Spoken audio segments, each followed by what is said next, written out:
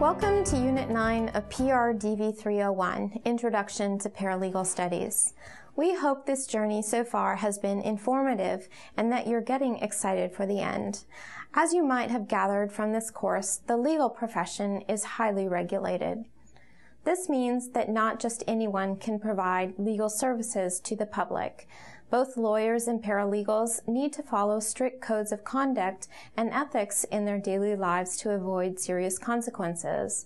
The American Bar Association could even ban you from practicing law entirely. This unit will teach you about these codes of conduct and common pitfalls that folks in the legal profession can run into. We'll also talk a little bit about what conflict of interest and zealous representation mean.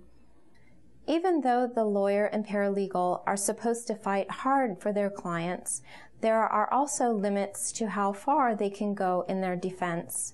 You will also read about some strategies to help maintain your client's confidentiality. By the end of this unit, you should have all the knowledge and basic skills necessary to start your paralegal journey. So congratulations! After this unit, one more important area remains to be covered what, in practical terms, it takes to become a working paralegal. Good luck.